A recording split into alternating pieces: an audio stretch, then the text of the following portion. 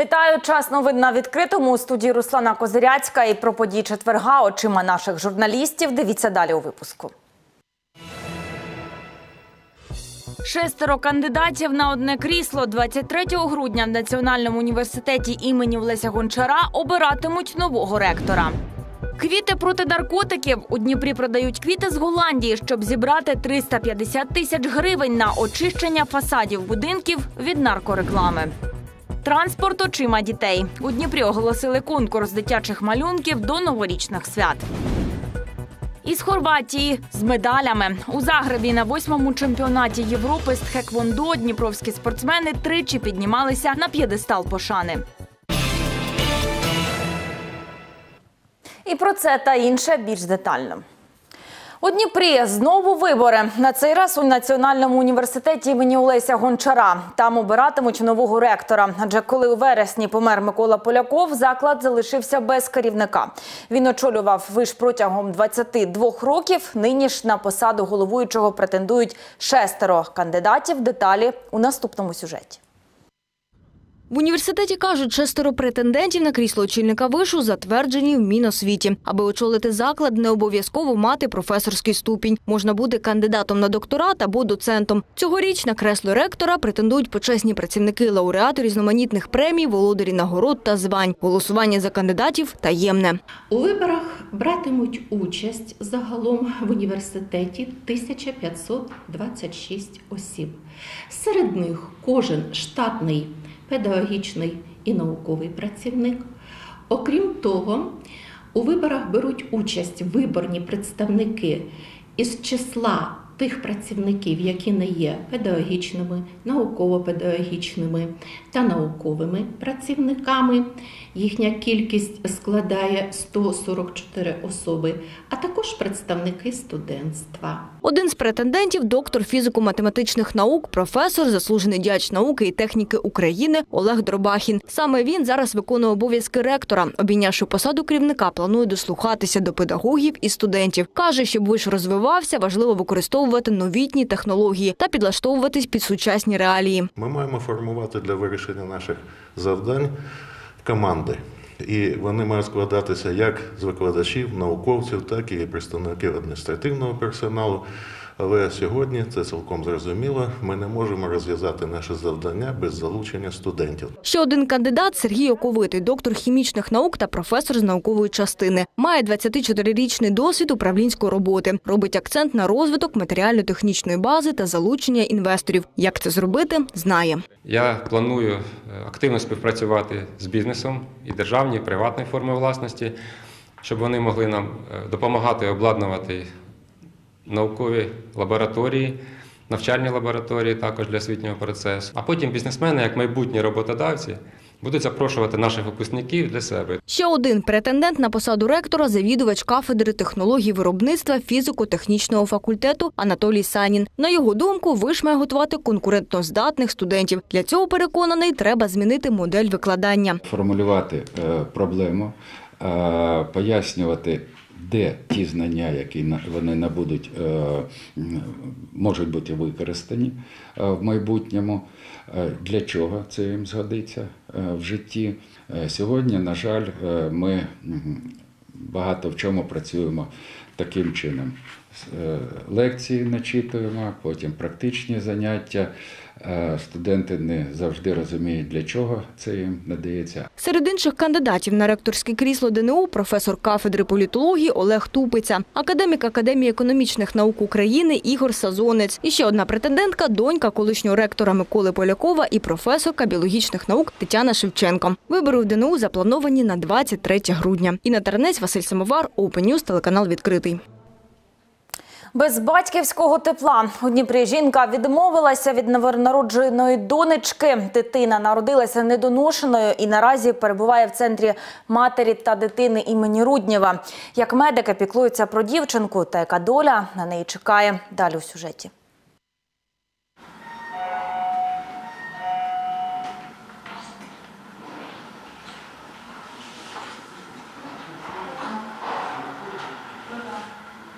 Без батьківської любові та тепла у Дніпрі в центрі матері дитини імені Рудніва породілля відмовилася від дитини, кинувши її на призволяще. Дівчинка народилася недоношеною менше двох кілограмів. Зараз вона потрохи набирає вагу і вже навіть навчилася самостійно смоктати.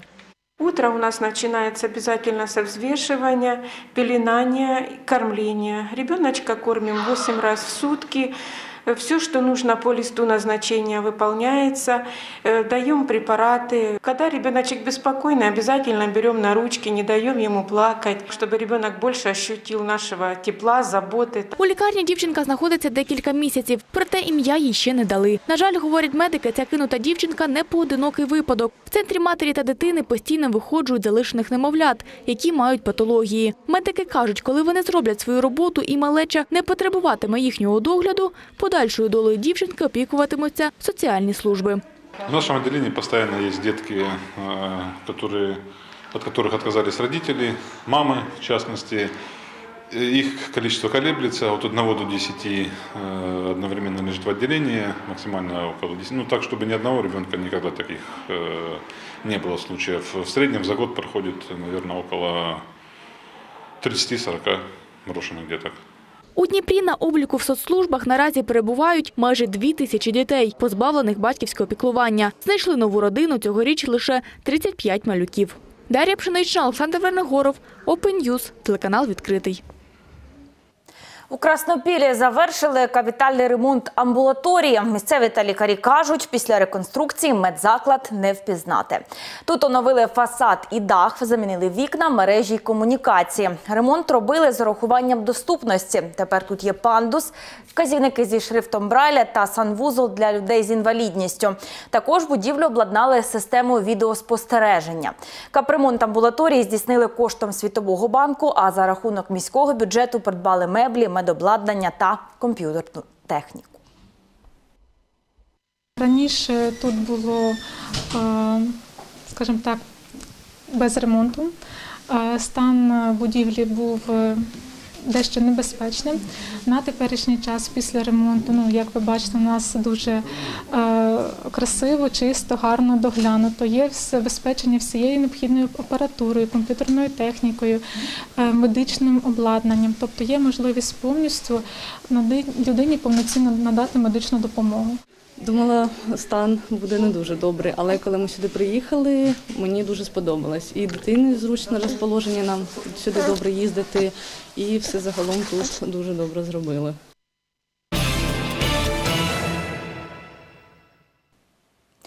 Плюс 835. Стільки нових випадків коронавірусу на Дніпропетровщині за останню добу. Про це повідомляють в обласному департаменті охорони здоров'я.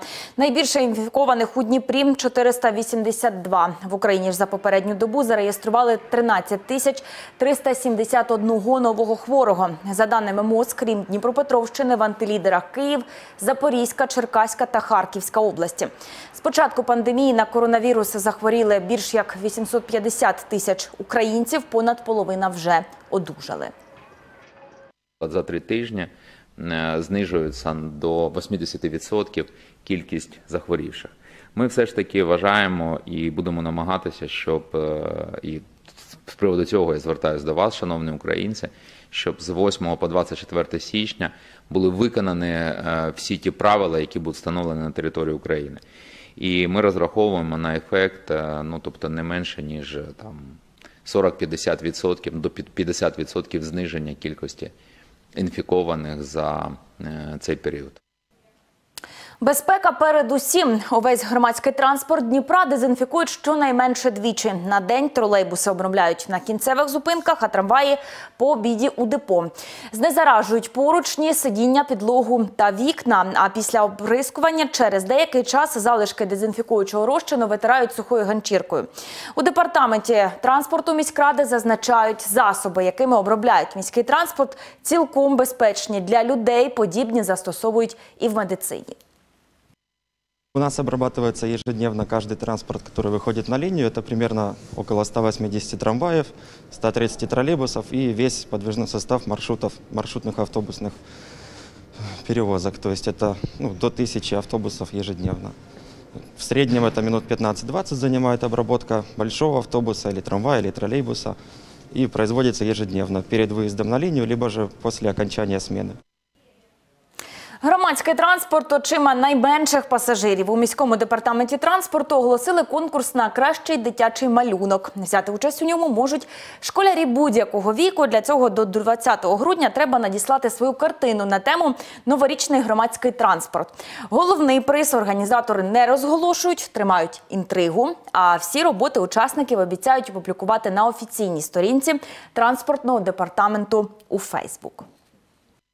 Розуміємо, що зараз карантин, дітям багато часу, який не можна проводити разом. Пропонуємо цей час витратити на творчість.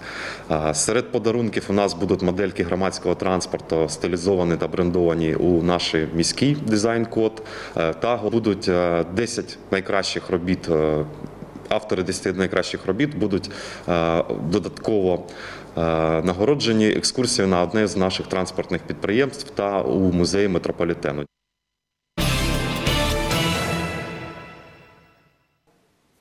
Не маєш угоди, отримай штраф. У Дніпрі перевіряли підприємців, як вони вивозять тверді побутові відходи. Черговий рейд представники екологічного департаменту міськради провели на житловому масиві Придніпровськ. З початку року за відсутність угод виписали вже майже 70 протоколів. У рейді з інспекторами побувала і знімальна група відкритого.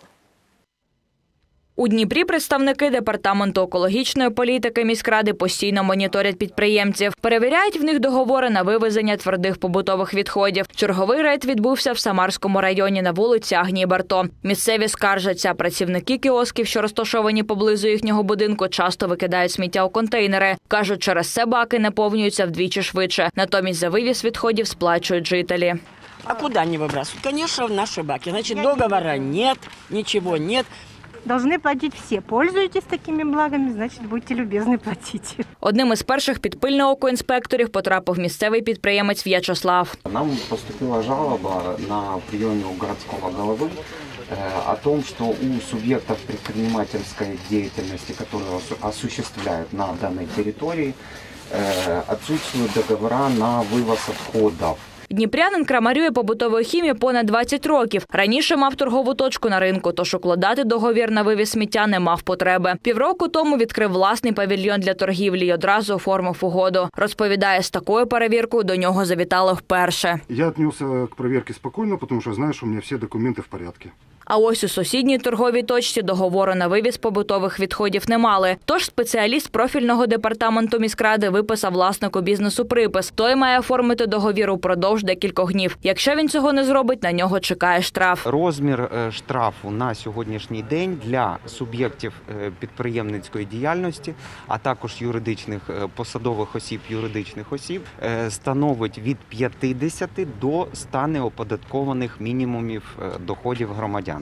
Тобто ця сума складає від 850 до 1700 гривень. На вулиці Агнії Бартох Придніпровську фахівці перевірили 13 об'єктів. В 10 потрібні угоди на вивіз твердих побутових відходів були відсутні. Загалом з початку року у Дніпрі за такі порушення склали майже 70 протоколів. Марія Требушенко, Василь Самовар, Open News, телеканал відкритий.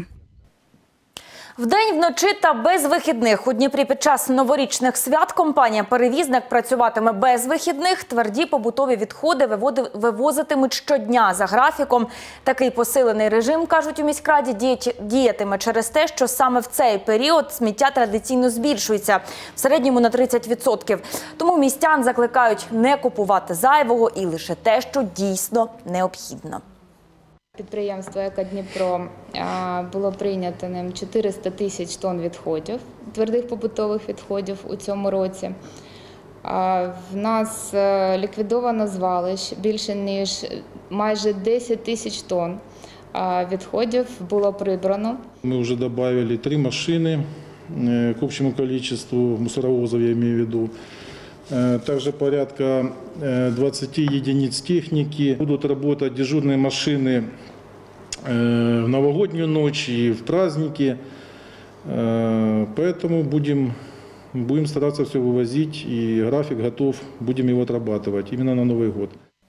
Очищують від реклами. У Дніпрі працівники електротранспорту постійно здирають оголошення, якими заклеюють стовпи з електродротами. Такі листівки не лише роблять місто неухайним, а ще й завдають збитків підприємству, вкотре наголошують у Дніпровському електротранспорті. Щоб очистити опори щомісяця, понад півсотні працівників депо доводиться відривати від основної роботи. Тому в департаменті транспорту міськради просять містян поважати роботу транспортників і використовувати для розміщення своїх оголошень спеціальні дошки. Мало того, що поприклеюють так, що її не оддереш. Псуються стовби постійно. Їх треба постійно красити, шпаклювати. Ну, зачем це робити? Є для цього спеціально відведені міста. Це кожну неділю треба його обривати.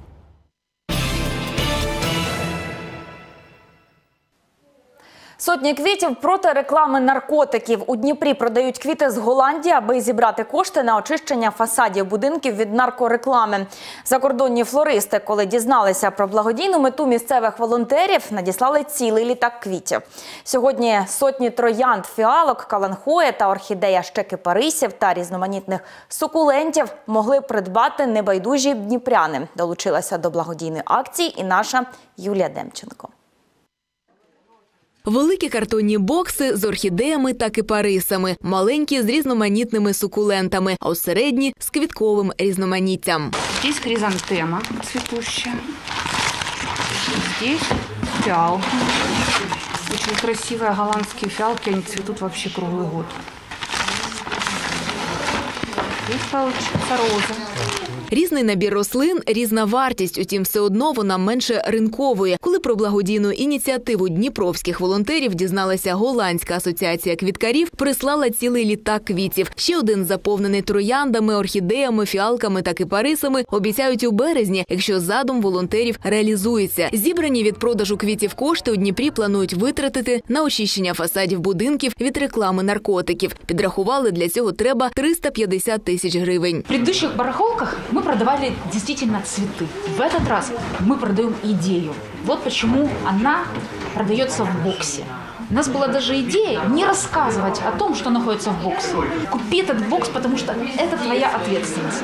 Но потом все-таки решили их распаковать и показать, что в одном боксе 4 суккулента по, за полстоимости. Квіти сьогодні продавали на шести локаціях, переважно у квіткових магазинах. Обрати певний бокс та перерахувати кошти можна було навіть онлайн через чат-бот. Саме таким чином кажуть організатори, змогли зібрати майже 100 тисяч гривень. Зокрема, Марина, представниця одного з благодійних фондів, купила квіти для міських лікарень. Я е, придбала для е, лікарів бокси, тому що вважаю, що ну, ми нашим благодійним фондом е, завжди підтримуємо лікарів, але ми підтримуємо їх такими медичними засобами. Ми купуємо їм маски, ми купуємо їм кисневі концентрати і так далі. А тут з'явилася чудова крута можливість підтримати їх емоційно. Оксані про благодійний розпродаж квітів розповіли подруги. Задля доброї справи каже залюбки, придбає великий бокс з квітами, тим більше у ньому розкішні орхідеї. Заинтересовало, ну, во-первых, э, оказать какое-то посильное участие в очищении города, ну и интересно, цветы, любитель цветов. Без квіткового боксу не залишила благодійний розпродаж і наша знімальна група. Чистити фасади будинків від реклами наркотиків організатори планують навесні. Для цього на зібрані кошти придбають необхідні реагенти та обладнання. Саме у теплу пору року кажуть, позбутися шкідливих написів можна буде швидко і не зіпсувавши зовнішнього вигляду споруд. Юлія Демченко, Сергій Язовських, News, телеканал відкритий. 100 тисяч за свободу. У Дніпрі хлопець пропонував поліцейським гроші, аби ті не забирали його до відділка. Як повідомляє прес-служба патрульної поліції, 19-річного хлопця затримали з пакетом наркотиків. У наплічнику парубок мав понад 6 сотень згортків, які збирався рознести по закладках. Патрульні зловмисника затримали та доставили до відділка. Триває слідство. Була висока трава. Виставка під такою назвою відкрилася у Дніпрі в музеї пам'ять єврейського народу та Голокост в Україні. Вона присвячена долям людей, які постраждали від нацизму. Головні герої, жертви геноциду, колишні в'язні концтаборів і гетто, примусові працівники та військовополонені. Загалом зо три десятки історій про людей, які пережили трагічні події 30-40-х років минулого століття. Нас дом подпалили и колонной угнали всех на Днепропетровск в вагоны и увезли. В лагерь нас мы попали сначала в Вальдорф. Это ну, от район е, Штутгарта. Бригаду цю виводили. Всі були у робах відповідних. Ці роби були з на- такими нашли, нашивками ОСТ. Виводили на роботу на залізну дорогу. І ввечері привод- приводили під конвоєм. На виставці представлено 29 людей, 29 героїв. Е, Це люди з різних категорій жертв нацизму. Ми намагалися показати весь спектр людей, які постраждали під час Другої світової війни, від ромів до е, в'язнів концтаборів гетто, е, примусових працівників. Є навіть військовополонений і є праведниця миру тут представлена. Це люди з різних регіонів України. І до новин спорту із Хорватії з медалями у Загребі фінішував восьмий відкритий чемпіонат Європи з тхеквондо. На ньому дніпровські спортсмени тричі піднімалися на п'єдестал пошани. Марія Думіна і Марія Леонова вибороли золото, а Микита Безп'ятих бронзу. Для борців це був перший міжнародний старт від початку пандемії. Загалом за нагороди на турнірі змагалися представники 70 спортивних клубів з 29 європейських країн. З переможцями і призерами змагань вже після повернення додому поспілкувався наш В'ячеслав Куліш. Золота медаль на п'єдесталі пошани. Ця урочиста мить залишається в пам'яті спортсмена на все життя. Марія Леонова. 12-річна Марія Леонова перемогу на клубному чемпіонаті Європи з тхеквондо ВТФ здобула у важкій боротьбі. На шляху до фіналу у ваговій категорії до 44 кілограмів дніпровська спортсменка не зустріла сильного опору з боку суперниць. А ось у вирішальному поєдинку вона випередила хорватку усього на 3 бали. Там был небольшой разрыв, мы шли балл в балл примерно. И там был счет 7-13 в мою пользу. И девочка на последней секунде выбивает еще в голову 3 балла. И получается 10-13. И как-то, если бы она попала еще раз в голову, то мог бы быть золотой балл, и могло бы закончиться все не так хорошо для меня. Попри юний вік, Марія вже досвідчений боєць. Вона чемпіонка України та Європи серед дітей. Таких успіхів досягла, бо дуже любить тхеквондо, розповідає спортсменка. А ось у її подруги по команді Марії Дубіної в фіналі все вийшло легко і просто. У ваговій категорії до 68 кілограмів вона просто розгромила спортсменку з Іспанії. Рахунок бою 14-0. У меня был сразу финал с испанкой, и я ее так легко разобрала. И, ну, было, конечно, так э, волнительно, потому что сразу бой не пошел, но потом э, мне стало легче, я прислушалась к тренеру, и все. Бронзову нагороду чемпіонату Європи серед юніорів у вазі до 68 кілограмів завоював також 15-річний Микита Безп'ятих. На більше не вистачило сил, зізнається спортсмен. У меня было два боя. Первый бой с хорватом и второй с болгарием. С хорватом первый бой я выиграл и в полуфинале проиграл. Буду стремиться развиваться в тэквондо, становиться лучше, сильнее. И думаю, буду выигрывать больше соревнований. Загалом клубний чемпіонат Європи з Теквондо ВТФ зібрав у Хорватії понад 70 спортивних клубів з 29 країн старого світу. Здобути перемогу в умовах такої сильної конкуренції дорого коштує, кажуть тренери. Слава богу, что в этом году мы смогли принять участие в соревнованиях, потому что уже было такое, что может быть и не получится. А выехали в Хорватию, приняли участие в клубном чемпионате Европы. Выехало 4 спортсмена, два спортсмена заработали золотые медали, одна бронзовая медаль. Конечно, таким результатом я как тренер доволен. Однак, тільки повернувшись додому, спортсмени знов поринули у тренування: біг, розминка, спеціальні вправи і спаринги. І так щодня, бо в кожному успіху 1% таланту та 99% виснажливої праці, відзначають фахівці. Любой талант требует огранки. А огранка – это только годы, проведенные в тренировках. И причем это не, не просто слова, это действительно годы. Потому что даже несмотря на то, что, к примеру, самый младший из наших спортсменов, которые сейчас выступали, ей 12 лет, но она пришла в 5. То есть 7 лет прошло уже, как она занимается у нас. Для одних спортсменів сезон змагань вже фінішував. А ось Марія Леонова вже за три дні поїде на чемпіонат Європи серед кадетів. Він стартує 13 грудня у Боснії та Герцеговині. В'ячеслав Куліш, Олександр Верногоров, Open News, телеканал відкритий. Такими були новини на цю годину. Гарного вам вечора. А більше читайте на нашому сайті opentv.media. Дивіться сюжети в соціальних мережах та на нашому ютуб каналі. А якщо маєте цікаву новину, телефонуйте на гарячу лінію 068 123 48 54. Залишайтесь відкритим, бережіть себе і хай щастить.